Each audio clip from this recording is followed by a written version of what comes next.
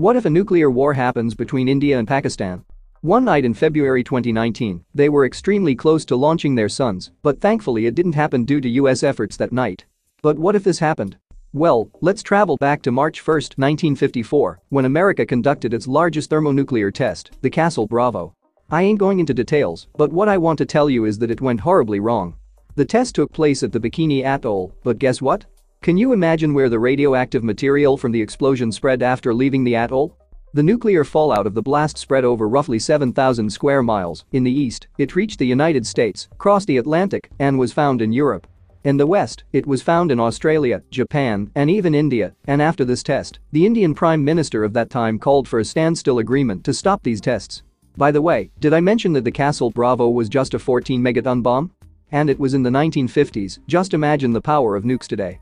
So, if India and Pakistan go into a nuclear war today, they wouldn't just destroy themselves, they would directly cover the world with nuclear fallout.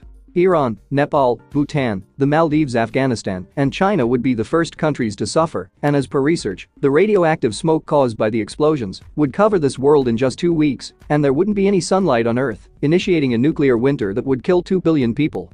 Pakistan with its 200 nukes and India with its 150 nuclear weapons can bring hell to each other and it is completely different from the thinking of some Indians that they can nuke Pakistan and because India is a 1.4 billion person nation, a large number of its citizens would survive and then they would conquer Pakistan.